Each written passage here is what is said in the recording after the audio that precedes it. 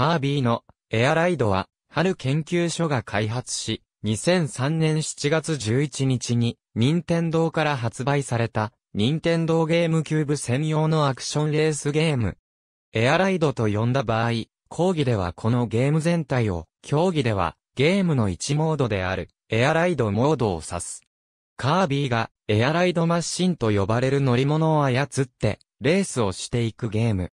3D スティックと A ボタンだけを使った簡単な操作が特徴で、このゲームシステムを使って3つの異なるゲームを楽しむことができる。途中で出てくる敵をコピーして、敵を倒したりスピードアップしたりも可能。もともとは、任天堂64で発売をする予定だったが、突然発売中止になり、数年後にゲームキューブ用として新たに作り直し、発売したという経緯がある。このゲームより1年以上前に発売されたゲーム、大乱闘スマッシュブラザーズデラックスのイベント戦には、カービィのエアライドという項目がある。これは当時発売中止状態であったため、いわば自虐ネタとして登場したものであった。また、開発途中に発売となった星のカービィ夢の泉デラックスには、カービィのエアグラインドというミニゲームが収録されている。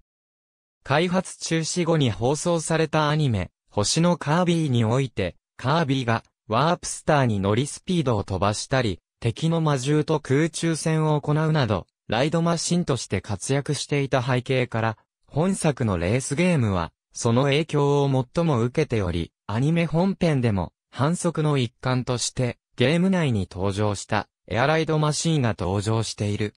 この作品の BGM には新曲だけでなく過去の旧作品のリメイク曲やアニメ版の BGM なども使用されている。桜井正宏が春研究所在籍中に最後に手掛けた作品でもある。このゲームにはクリアチェッカーと呼ばれるエアライド、ウエライド、シティトライアルにそれぞれ120個ずつ計360個の課題があり、これをクリアすることが目標となっている。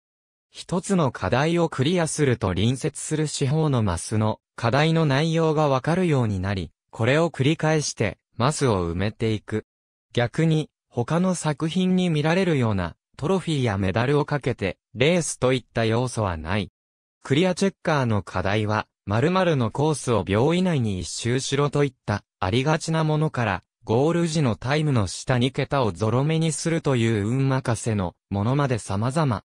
難易度も様々で、特定のアイテムを10個以上取れなど、運転テクニック以外の要素でクリアしがたい課題も存在する。また、一部の課題では、クリアすると、裏音楽やマシン追加などのご褒美がもらえる。課題をクリアすると、ご褒美がもらえるマスは大々に、もらえないマスは黄緑に光るようになる。どうしても課題をクリアできない場合の救済処置として、それをクリア扱いにする紫パネルが存在するが、数が限られる上に、ご褒美の一種となっているので、使うには、ある程度の計画性が求められる。また、パネルを使用したクリアチェッカーの条件をクリアした場合は、もともとつく色に上書きされる。120個すべての課題をクリアすると、紫パネルを除いて金色に光るようになる。このシステムは後に Wii で発売された大乱闘スマッシュブラザーズ X にも活かされている。エアライドマシンは一部を除いて常に数センチメートル浮いた状態で走行しており、そのほとんどが自動で走り続ける。そのため、レース中はスティックと A ボタン以外は使用しないので、ゲームに慣れていない人でも簡単に操作することができる。A ボタンを押すことをプッシュと呼び、これによってマシンが地面に押し付けられる。プッシュ中は速度が落ちるが、マシンにパワーが溜まり、A ボタンを押し続けて解放することで加速することができる。これを使うと、急なカーブをスムーズに、速く曲がることができる。ただし、チャージをしすぎるとオーバーヒートし、余計減速してしまう。また、吸い込み、技の使用も同時に行える。なお、L、R トリガーボタンでも、同様の操作を行え、L トリガーボタンを使えば片手操作もできる。スティックを左右に素早く倒すと、クイックスピンができる。この状態で敵にぶつかると、ダメージを与えたり減速させることができる。また、発動した瞬間は無敵らしく、敵の攻撃を防ぐのにも使えたりする。マシンが段差を越える際に機種を上げると、飛び立つことができる。飛行性能はマシンごとに違うが、マシンによっては、大幅なショートカットができることもある。他に、滝のすぐ後ろを走ると、空気抵抗が軽減される、スリップストリームという効果がある、スタースリープや、細長いレールに乗ると、それに沿って加速するという特徴もある。すべてのモードで4人対戦が可能。エアライドとウエライドでは、以下のゲームモードを備える。シティトライアルでは、以下のゲームモードを備える。本ゲームでのカービィのコピー能力は、エアライドとシティトライアルで使用できる。能力のコピーは主に、エアライドでは敵キャラを吸い込むことによって、シティトライアルでは主に、コピーパネルと呼ばれるアイテムで行われる。能力はマシンに乗って戦うゲームの趣旨により、本編と比べて多少変更が加えられている。発動は、プッシュによって、能動的に行われるもの、自動的に発動されるもの、カービィ自身の姿が変化しマシンの代わりとなるものがある。以下、コピー能力とカッコ書きで、それに対応する敵キャラを併記する。登場するのは主に、エアライドモード。また、シティトライアルのスタジアムの一つである、バトルロイヤルでも登場する。スカのキャラクタースカのキャラクターは、吸い込んでもコピーはできず、星型弾にして、吐き出すだけの敵。コピーできる。キャラクターコピーできるキャラクターは、吸い込むと、キャラクターの能力をコピーして、コピー能力を使えるようになる敵。また、ゲーム本編と同様、2体以上同時に吸い込むと、コピールーレットが発動する。特別なキャラクター9つのコースを、エアライドマシンに乗ってレースする。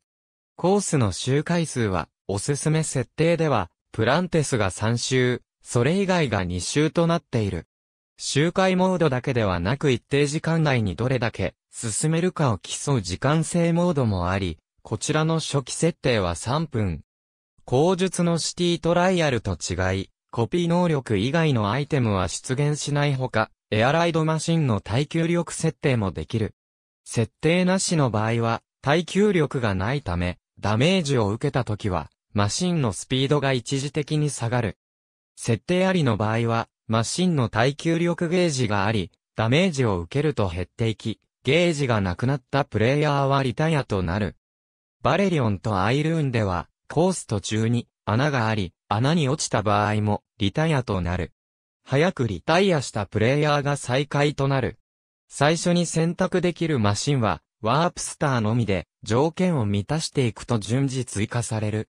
最終的に、シティトライアルで使用できるマシンの内ライトスター、フライトワープスター、ドラグーン、ハイドラ以外をすべて使えるようになる。